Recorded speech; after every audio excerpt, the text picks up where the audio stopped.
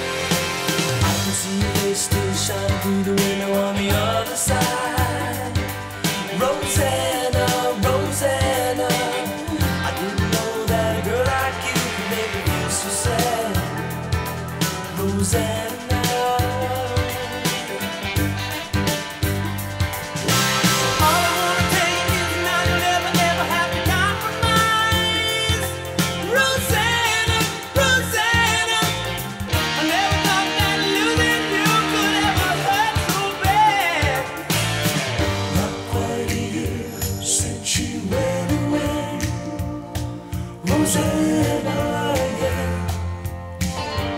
Now she's gone.